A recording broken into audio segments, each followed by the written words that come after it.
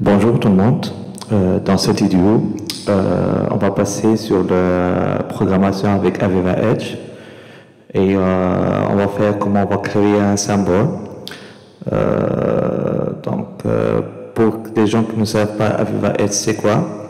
Donc, c'est un produit de, lorsqu'on dit Aveva, donc vous pouvez faire une petite recherche. Donc, je vais vous faire ici une petite recherche. Donc, euh, Aviva, c'est ce qu'on connaît, c'est le leader tout ce qui est système plateforme et tout ce qui est software, euh, software industriel. Parmi les connus, le, le connu de Aviva, on a la plateforme euh, WonderWeb, tout ce qui est SCADA, euh, Aviva InTouch, mais bon, ce qui était connu sous le nom de InTouch, InTouch HMI. Euh, tout ce qui est historien, historien pour le historien, tout ce qui est enregistrement des données à, travers l'historien, et Aviva Edge. il était connu sous le nom de Indusoft, donc euh, Indusoft Web, euh, Studio, et il a, été acheté par Aviva, donc son nom est devenu Aviva Edge. Donc ici, on va parler de ce produit, Aviva Edge. donc vous pouvez faire une petite recherche, donc vous allez trouver beaucoup d'informations sur ça. Euh, donc ici, euh, donc ici, ça c'est notre VM qui contient Aveva Edge. Donc euh, on va créer un, symbole. C'est quoi le symbole? C'est-à-dire par exemple, je vais faire créer un système de SCADA qui contient plusieurs, par exemple, ici je vais prendre un exemple qui contient plusieurs réservoirs. Donc ici, qu'est-ce que je vais faire? Donc, euh, je ne vais pas créer plusieurs fois le réservoir. Donc, je vais créer un symbole qui contient les paramètres locaux qui contient ce, réservoir. Ensuite, je vais l'appliquer plusieurs fois en cherchant seulement les adresses euh, de, chaque réservoir. OK? Euh, Donc, ici, on va commencer cet exemple. donc, ici, on va par exemple ouvrir une, page. Donc, ça, c'est la page qui se trouve euh, qui se trouve dans Aviva Edge. Euh, on va dessiner par exemple un symbole de réservoir. On va mettre les paramètres qu'on veut de ce réservoir, comme si c'était une fonction. Ensuite, on va l'appeler plusieurs fois pour, par exemple, ici on a trois réservoirs, donc on va appliquer trois fois et on va mettre les variables en relation, en relation avec chaque réservoir. Donc ici, je vais commencer, donc on va cliquer ici, on va, mais bon, je vais décider manuellement un réservoir. Euh, ici, par exemple, euh, donc, euh,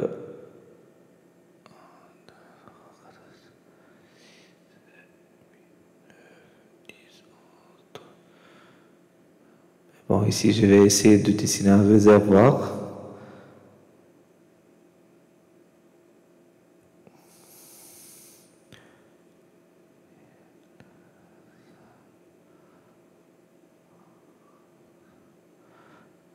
Je vais essayer de. Mais bon, je vais, pas être. C'est-à-dire, je vais faire rapidement.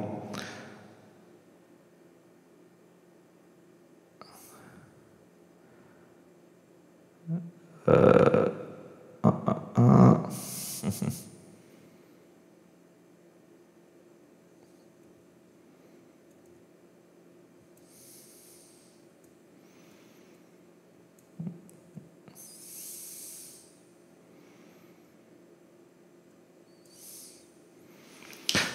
Bon, c'est pas bien fait, mais bon, je vais essayer de corriger un peu. Bon, ici, je ne veux pas prendre beaucoup de temps sur ça, mais bon, je vais essayer de, faire euh, plus présentable pour cette euh, formation.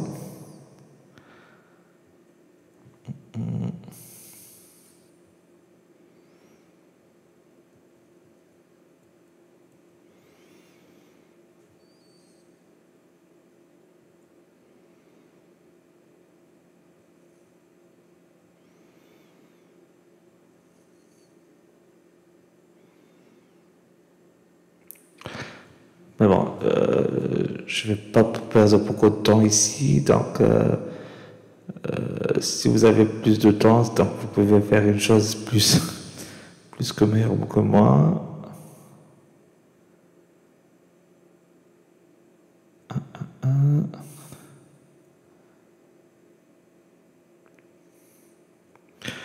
Ah.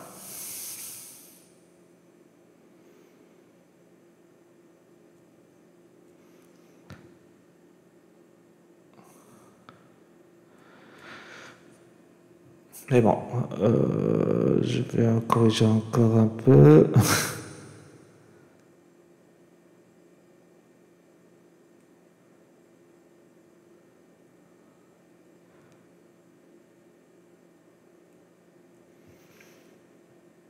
Mais bon, euh, c'est pas mal, je pense. ok, donc euh, je vais par exemple mettre couleur de ce réservoir. Je vais faire, je vais le rendre plus présentable. Donc ici, je vais choisir par exemple valeur gris. Je vais prendre ça. Euh, le contour c'est gris. Donc ici, je suis en train de dessiner l'objet que je veux. Euh, attends. Ah, ok, remplissage. Donc euh, ça c'est notre réservoir. Je peux le donner aussi plus, qui devient plus que 3D, par exemple, on peut ajouter ici, on peut faire des... Attends, clique ici. On peut faire le arc. Ouais, des arcs. Donc ici, on peut faire beaucoup de choses. C'est pour rendre notre réservoir plus, plus réel. Je vais mettre par exemple gris. Euh, donc ici, comme ça, aussi. Je vais copier ça pour faire l'autre sens. Donc ici, c'est vous allez dessiner euh, votre, euh, votre réservoir. Donc ici, c'est plutôt des dessins. Faut avoir de patience pour faire une chose présentable pour le client. Je vais le grouper. Donc je vais par exemple mettre comme ça pour avoir plus des effets de... bon, c'est pas bien fait, mais bon, c'est pas mal, mais bon, c'est pas bien fait. ok. Donc... Euh, Mais bon, par exemple, qui est comme ça. Euh, donc ici, vous devez prendre, euh, vous allez prendre un peu de temps pour faire bien faire ça. Mais bon, ici, je suis en train de un peu presser. Aussi, je peux donner plus de design à notre, euh, donc je peux ajouter un autre ici, comme si ça. Attends, c'est pas bien fait.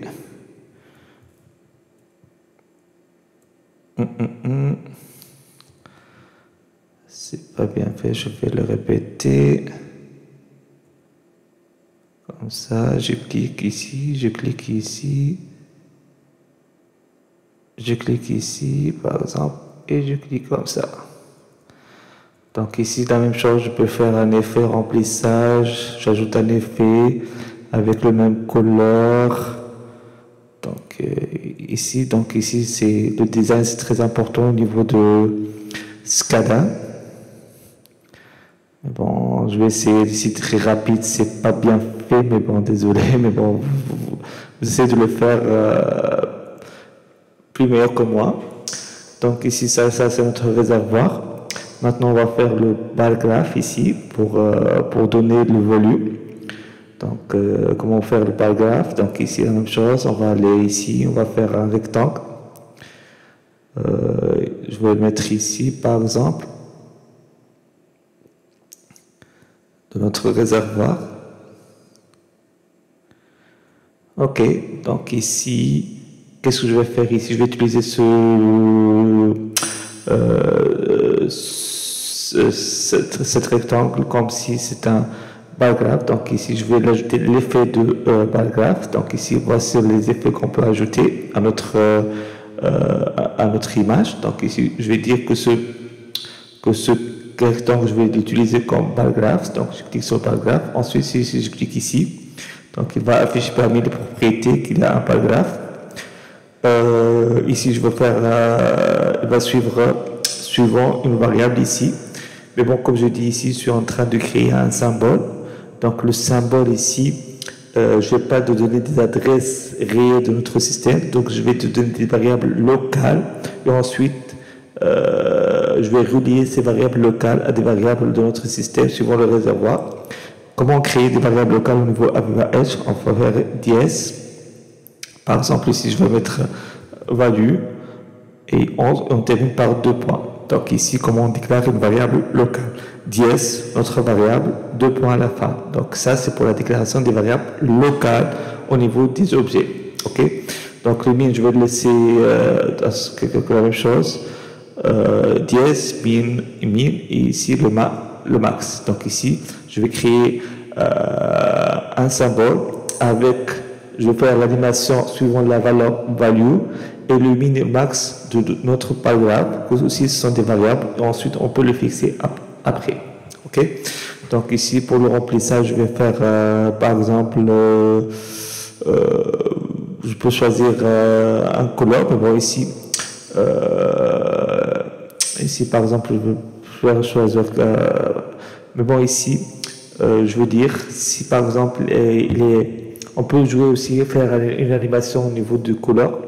Par exemple, si, euh, si, la, la, valeur du niveau est inférieure à une valeur mi, je vais, je vais le mettre comme couleur jaune.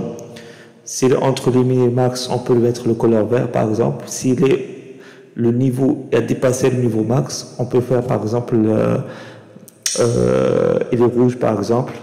Donc, comment on peut faire ça? Donc, ici, on va ajouter à notre animation, ici, à notre rectangle.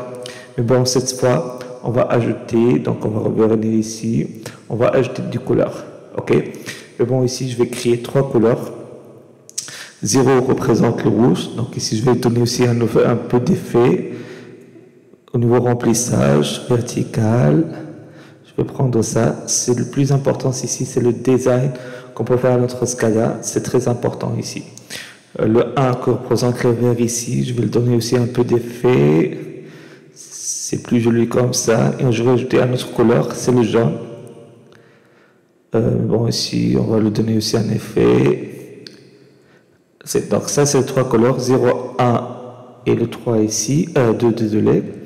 Si on donne la valeur 0 ici, donc il va, être rouge. Si on donne la valeur 1, il va donner le vert. Si on donne la couleur jaune, donc il va donner la valeur, la valeur 2.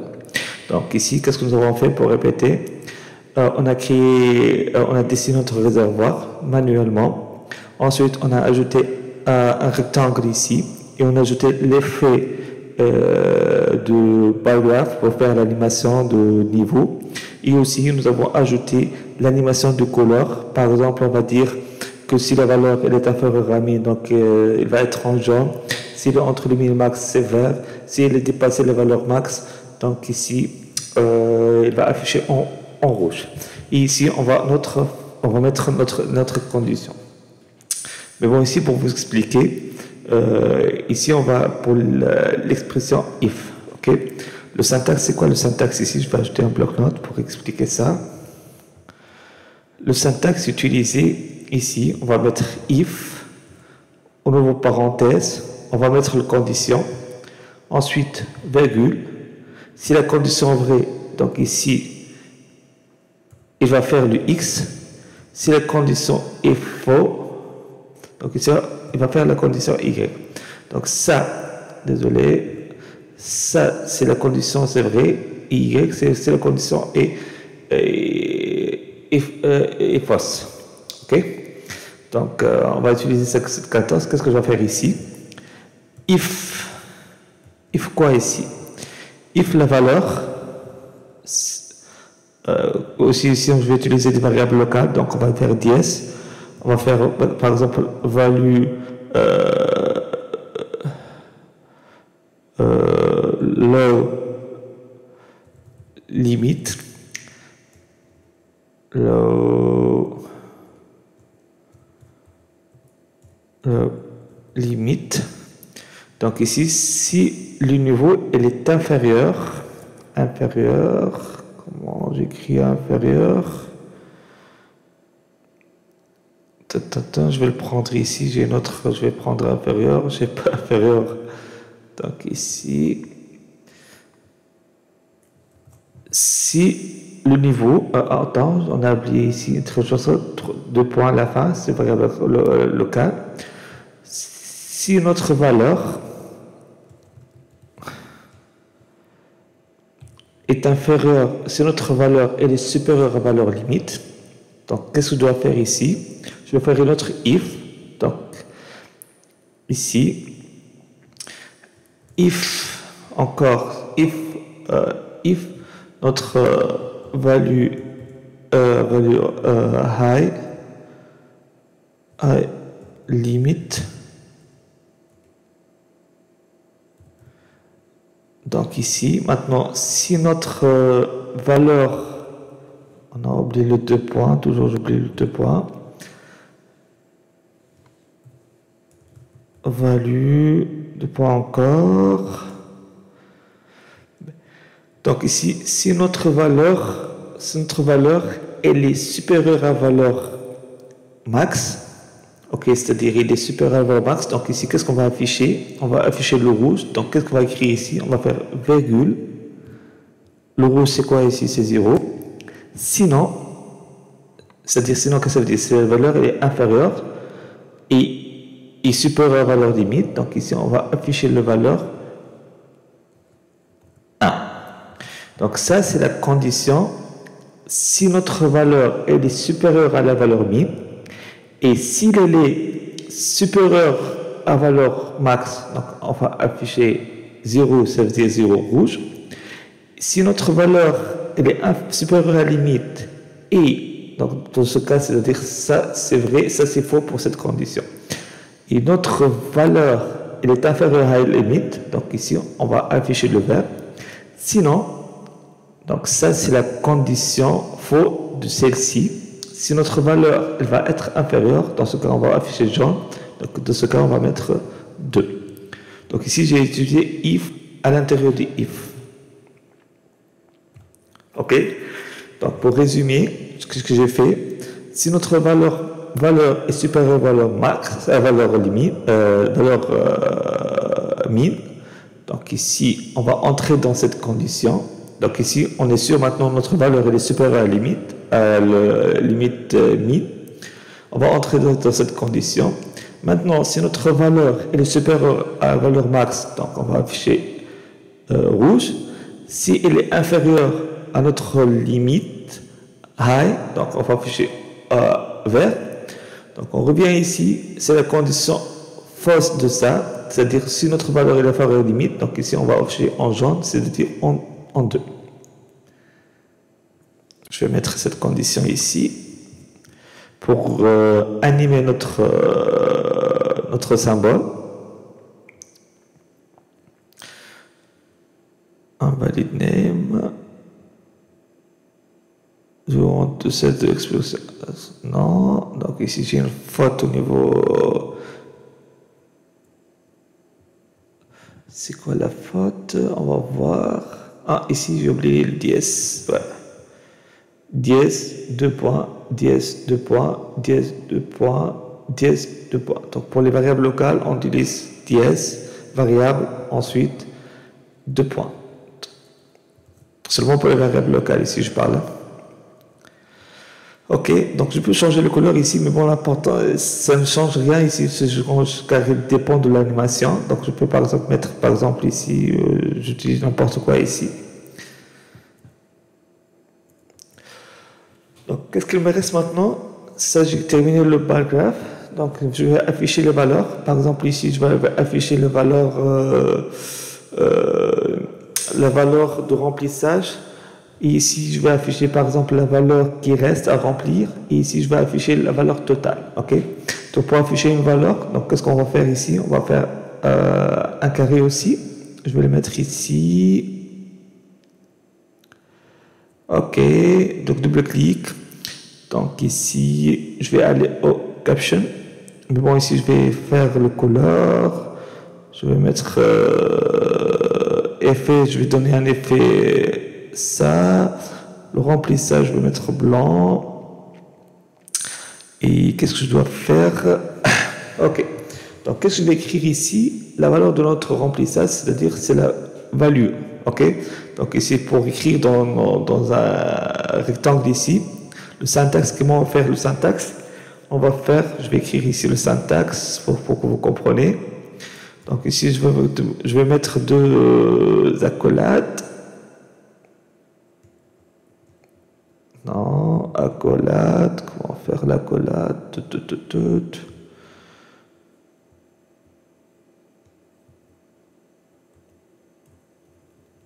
Bon, je ne suis pas habitué avec le clavier canadien.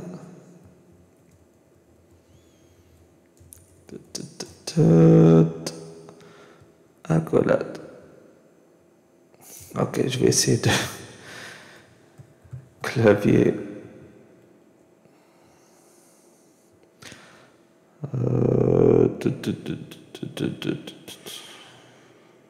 Désolé pour ça.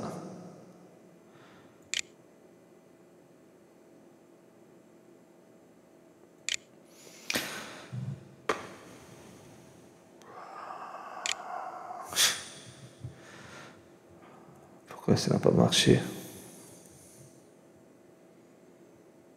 Ah, Ça marche ici, ok. Donc ici, on va mettre l'accolade. Et on va mettre ici, ensuite, notre variable entre les accolades. Ok? Donc ici, que je vais mettre ici, c'est qu'est-ce qu'on va afficher? On va afficher la valeur value. Donc, comme de dièse. Ensuite, value. Donc, vous pouvez écrire ce que vous voulez comme variable. Mais bon, ici, on va mettre deux points. OK? Ici, je vais afficher l'unité. Parfois, je veux un réservoir avec l'unité pourcentage, euh, avec litre, euh, comme vous voulez. Donc ici, je donne le droit de, euh, au client de choisir l'unité qu'il veut. Donc je vais mettre comme variable aussi. Donc la même chose, je vais ouvrir deux accolades, deux accroches, c'est ça. Et je vais me déclarer une variable de type donc DS, je vais l'appeler unit et deux points. Donc ici, je donne le droit à l'opérateur de choisir quelle variable à afficher et aussi avec quelle unité. Toujours, lorsqu'on parle d'un texte, on doit toujours remettre entre deux accroches. OK? Donc entre deux accroches pour la valeur et entre deux accroches pour l'unité. Je vais mettre OK. La même chose ici, je vais faire copier-coller. Copier. Ici, je coller. Donc ici, je vais afficher par exemple la valeur max de notre réservoir. Donc ici, la même chose, caption. Ici, je vais garder l'unité. Ici, je vais changer la valeur. C'est la valeur max.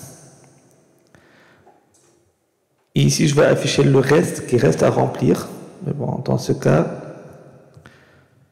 donc ici, je vais faire dire ici. Mais bon, ici, je suis en train de te donner le maximum d'informations pour vous montrer. Euh, c'est très facile, je pense. Donc ici, comment je vais afficher C'est la valeur max de points, moins, moins la valeur. Donc ici, si par exemple on a 100%, 100 moins le valeur, par exemple, s'il est rempli à 20, donc 100 moins 20, donc il va donner 80, c'est qu'il reste à remplir.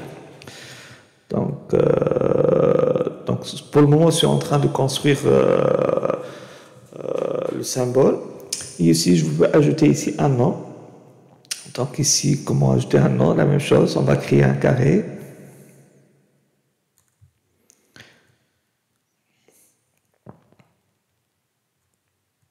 Double-clic, sans remplissage sans contour, par exemple. Dans le caption, donc ici, je vais mettre entre deux accolades la variable, je vais l'appeler par exemple dièse name deux points. Donc ici, je vais, dans cette variable, je vais mettre le nom, par exemple le réservoir euh, d'eau, réservoir, je sais pas quoi, donc euh, le nom de notre réservoir. Ok, donc je pense ici j'ai terminé le. Donc, donc ici j'ai terminé notre réservoir. Donc comment maintenant on va créer notre, notre symbole? On va sélectionner tout ça. On va cliquer à droite. attends, j'ai rien oublié. Cliquez à droite. Attends, je vais le grouper tout d'abord. On peut faire grouper, puis sinon on peut le faire directement. Créer, create linked symbol. Donc ici je vais créer le symbole. Avec quel nom tu veux créer ce symbole? Donc par exemple je vais l'appeler réservoir. Save. Donc ici j'ai créé un symbole qui s'appelle réservoir. Ok? Donc je peux l'effacer maintenant, j'ai pas besoin de ça où je, je peux trouver les symboles que j'ai créés. Donc ici dans le project symbol, donc vous cliquez ici, voilà le symbole que nous avons créé. Donc double-clic, il va ajouter ce symbole. Par exemple, donc, si je veux faire par exemple un dessin avec trois, trois réservoirs, je clique une autre fois. Donc ici, j'ai pas besoin de refaire tout ça. Donc je vais créer notre, autre réservoir. Clique fois, je vais créer un autre réservoir. Si par exemple ici j'ai euh, par exemple 40 réservoirs, je ne vais pas faire 40 fois. Donc je vais créer un, symbole une seule fois et ensuite je veux l'appliquer plusieurs fois. Mais bon, ici, comment je vais faire ici? Double-clic sur réservoir. Qu'est-ce qu'il affiche ici? Les variables euh, locales que nous avons créées tout à l'heure. OK? Donc ce sont des variables locales, ce ne sont pas des, vraies variables pour notre système. Donc ici, qu'est-ce qu'on va faire? On va associer à ces variables locales des valeurs ou bien des variables au niveau de notre système. Par exemple, ça c'est le réservoir A. Donc le réservoir A, euh, le max c'est 100%, le min 0%. Je vais l'appeler, donc c'est un réservoir 1. Donc ici c'est un texte. Lorsqu'on parle texte, on va mettre entre deux accolades. Donc réservoir 1. Unité, bien sûr, c'est un texte. Donc euh, entre guillemets, donc ici pourcentage. Le valeur, donc euh, ça, je vais le relier avec par exemple euh, un capteur qui va afficher, qui, se trouve dans le niveau automate, qui sera envoyé vers le, notre SCADA, qui donne le, niveau de réservoir. Par exemple, je vais l'appeler niveau, niveau réservoir 1. Donc il va Attends. Réservoir 1. Donc il va dire que cette variable n'existe pas, donc je vais le créer. De type par exemple réel. Euh, le valeur high limit, c'est-à-dire à 80%, 80%. Donc le réservoir ne doit pas passer à 80%. Donc c'est le valeur max. C'est pas le max du réservoir, c'est le, la, valeur max à ne pas dépasser, par exemple. Et le valeur euh, low limit, par exemple, je vais dire 20. Ok, c'est-à-dire c'est à partir de 20, on a affiché en jaune pour indiquer que le réservoir est presque vide. Donc c'est pour faire alarme, on peut faire je ne sais pas quoi qu'on peut faire. Ok, donc ça c'est pour le premier réservoir. Pour le deuxième réservoir, donc ici par exemple c'est un réservoir entre 200 euh, litres et jusqu'à 0 litres. Donc ici je vais donner un nom. Euh, désolé, entre guillemets, euh, réservoir de, ah, j'ai rien écrit, réservoir de, l'unité ici par exemple litre,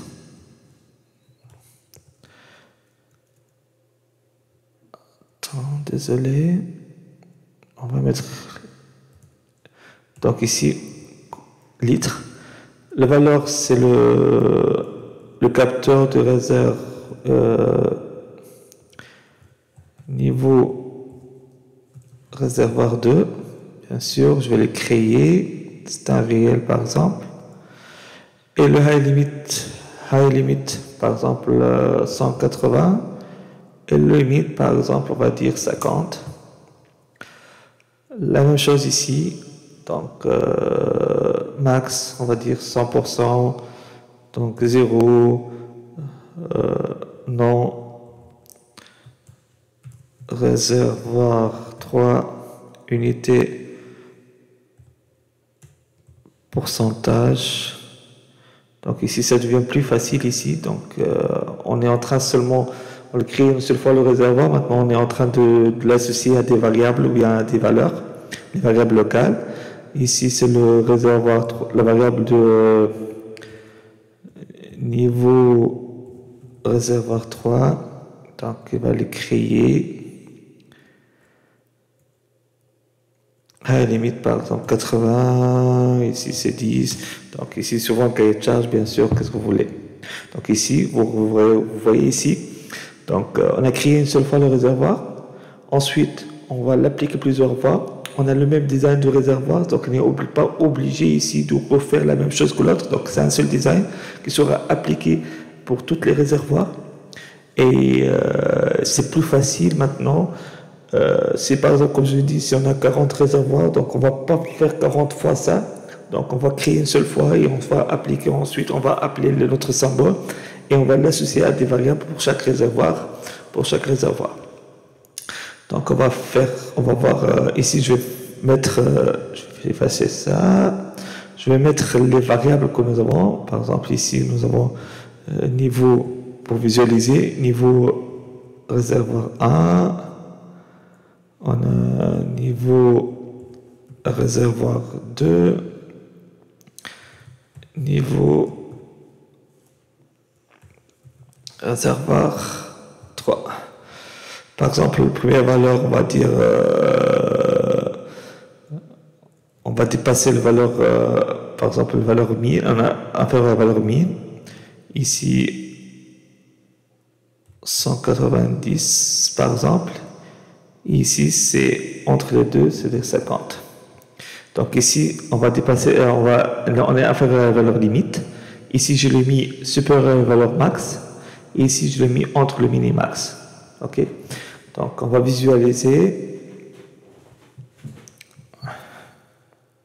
Donc comme vous remarquez ici, donc ici j'ai mis 10%, 10% l'unité c'est le réservoir 1.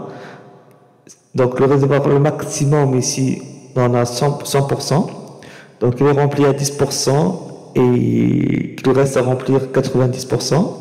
Bien sûr, on a mis comme limite low, limite, c'est le 20, donc on est inférieur à le limite, donc on affiche en jaune. Euh, la même chose ici, c'est le deuxième, on a un réservoir à 200 litres, on a rempli à 190%, à 190 litres, on a dépassé la valeur max. Euh, si je parle pas du réservoir max, c'est-à-dire on a le, le, max, on a mis 180 je pense, donc on a dépassé ça. Donc pour lui, il est en rouge.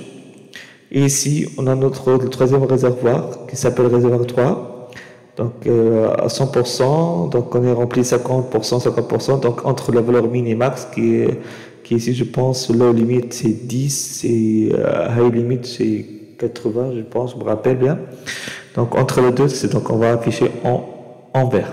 Donc comme vous remarquez, c'est très facile ici maintenant de le programmer, euh, notre réservoir c'est pas seulement pour les réservoirs. Donc, c'est vraiment que je vous montrer ici quelques exemples qu'on peut le faire.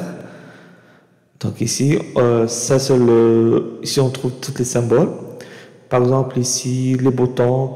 Euh, par exemple ici j'ai fait plusieurs moteurs. Par exemple ici des exemples que j'ai fait. Donc ici on va, on peut faire par exemple pour l'affichage de valeurs analogiques. On va créer par exemple l'affichage de deux chiffres. Donc je le fais à chaque fois que j'ai besoin de ça, donc je vais cliquer ici, je vais l'afficher. Donc c'est comme si, ici je vais mettre les variables locales directement. Donc c'est plus facile, euh, même c'est très bien ici, car on va avoir un seul design. Donc c'est pas avoir un, plus grand, un plus petit. Donc ici je remets tous mes symboles. Ensuite, qu'est-ce que je vais faire? Copier, euh, je vais créer, créer et associer les variables très rapidement. Euh, par exemple, j'ai fait des boutons, donc ici je peux faire le bouton, donc ici je vais faire euh, c'est quoi la commande, c'est quoi le texte, c'est quoi le bouton interne, donc ici je vais afficher directement les variables. Euh, de toute façon, je vais avoir un format bien déterminé d'un bouton.